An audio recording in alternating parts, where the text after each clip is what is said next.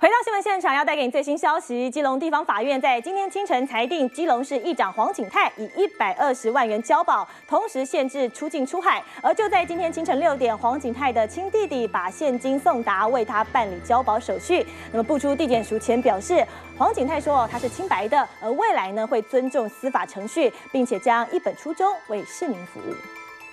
我想这笔政治现金，我有一一清楚向法官、检察官。交代资金的流向，也谢谢法官对所有资金流向说明。我想我是清白的，市民的眼睛是雪亮的。